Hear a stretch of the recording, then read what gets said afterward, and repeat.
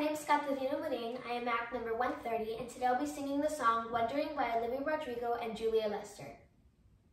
Feels like I might have broke the best thing that I had. I said too much to ever take it back. So where I'll never find something as good. Would I even know it if I could? On the other